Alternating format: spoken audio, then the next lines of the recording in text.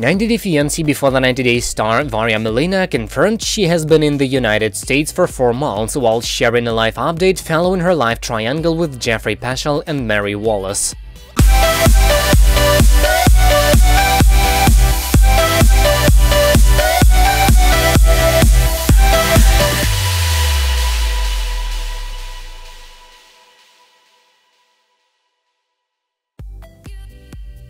Right now, I'm staying in Pensacola. The season 4 alum 30 years shared next a photo of herself at the Florida-based beach on Monday, April 26th.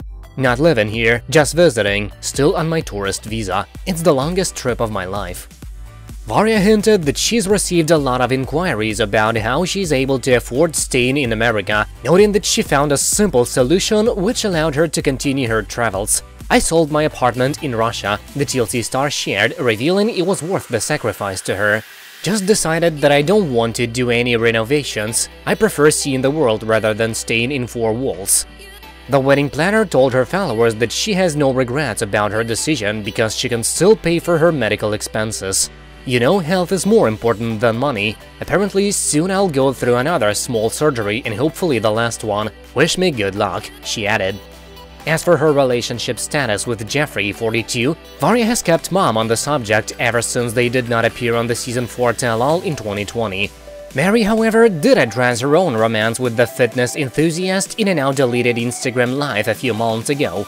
No, I'm not with Geoffrey. No, I do not want to be with Geoffrey. No, that has ended. It has been over for a very long time, longer than you guys think that it is, she shared in the clip uploaded on February 4th, 2021. Second of all, Geoffrey and I are not even friends anymore. Geoffrey originally joined the cast with Varya, who was his long-distance girlfriend at the time.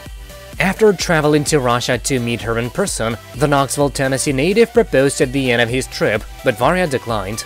He ended up moving on with friend-turned-love interest Mary, but ultimately invested his energy into pursuing a romance with Varya. Before Varya was set to return home, he popped the question to her again, and she said yes.